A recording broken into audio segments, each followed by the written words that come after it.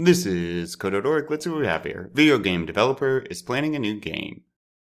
And they written a player class, yes they have, uh, to represent the player in their game.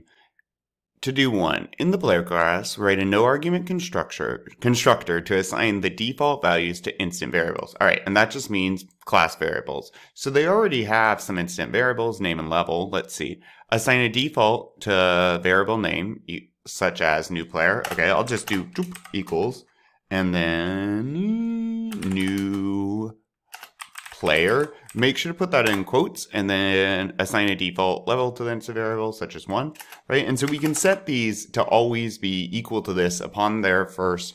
When you instantiate a player object, then the name of that player will be new player and the level will be zero unless we have a constructor that allows us to set these things. And a constructor is just a fancy way to say a method that could, uh, that is run when the class is instantiated, when an object is made from it.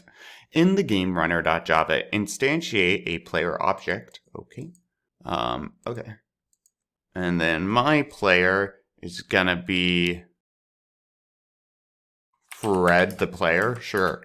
Uh, Fred, and then, oh, what am I doing?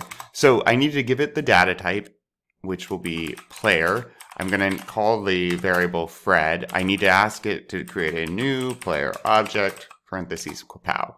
Cool.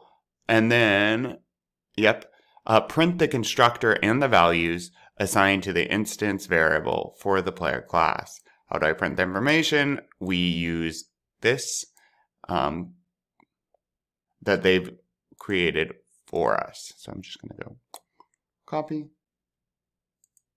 paste, and then I name mine Fred. Let me do a semicolon here. Let's see what we get. Print the constructor and the assigned value. So notice this prints just public player, right? This prints out the constructor, which is just what's in creating our class. To print the assigned values, we're going to have to use their already created methods here, which I think they had them.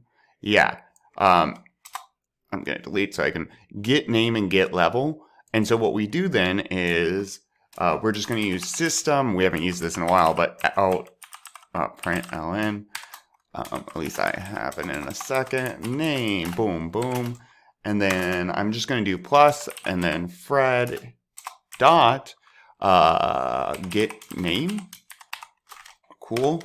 And then I'm just going to copy this to be lazy and then do, what is it, level? Uh, get level, should be. Uh, obviously, you don't necessarily have to put these labels in front. I think they are helpful, but yep.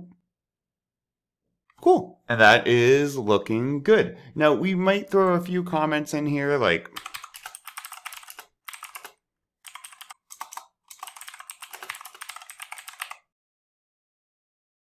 or something like that, uh, just to make sure we explain what we're doing. Let's see. Oh, missed one here. Assign a default value to the level instance variable. Failed.